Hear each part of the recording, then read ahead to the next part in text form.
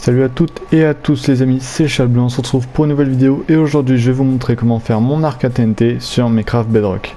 Donc ça va être un vrai arc à TNT, donc euh, ça va être une TNT qui va être lancée qui va suivre la flèche du coup et cette technique marche en multijoueur. Pour faire ça on aura besoin de trois commandes blocs juste ici, on va mettre deux commandes blocs en répétition toujours actif ici et un commande bloc chaîne ici en conditionnel. Pour la première commande, juste ici, on va faire un slash execute e type égale arrow, virgule, tag égale, point d'exclamation TNT.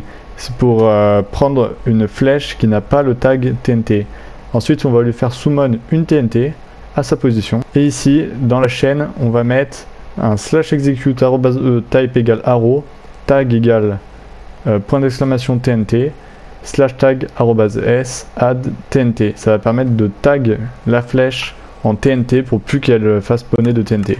Et juste au-dessus, on va mettre un autre commande bloc en répétition. Où on va exécuter la flèche, on va lui faire exécuter la TNT en c égale 1 et on va faire un slash tp s e type égale arrow virgule c égale 1 ça va permettre de tp la TNT à la flèche à l'infini.